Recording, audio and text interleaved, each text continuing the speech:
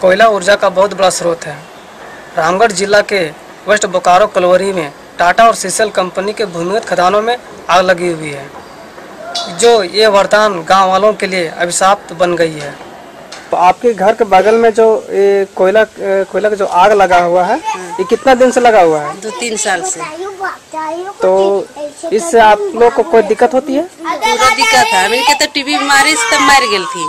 आ रहथिन यहाँ ऊपर ला दुख से तो सब टीबी पेशेंट बनल हथिन। तो मारे हथिन पूरा। प्राकृतिक संसाधन कोयला एक दिन समाप्त हो जाएगी। कोयला का उत्पादन उतना ही करना चाहिए जितना कि उद्योग जगत को चाहिए। जब कोयला खनन कार्य के स्थल पर आग लग जाती है तो काबू कर पाना काफ़ी मुश्किल हो जाती है। और इस प्रकार से विशाल रूप देखने को मिलता है। टाटा कंपनी की खदान में आग लग चुकी है। और उसको निपापत्ति करके ओवरवालों के द्वारा ढकने का काम किया जा रहा है। एक दिन गाँव वालों की तरफ़ आग आएगी और गाँव वालों को अनेक प्रकार का बीमारियों का सामना करना पड़ सकता है। भूमिगत खदानों में जो आग लगी हुई है, इसका कोई सक्रिय कदम उठाया जा सके और पर्यावरण, वातावरण साफ़ सुथरा रहे।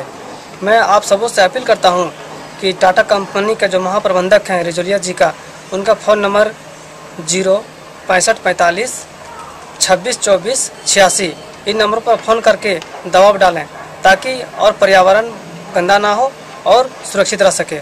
मैं मोहन भुइया, जिला रामगढ़ से, झारखंड, इंडिया, अनहट के लिए।